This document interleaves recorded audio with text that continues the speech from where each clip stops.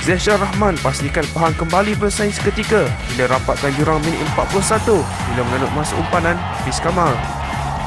Sambung babak kedua, Arko Pinaden terlepas.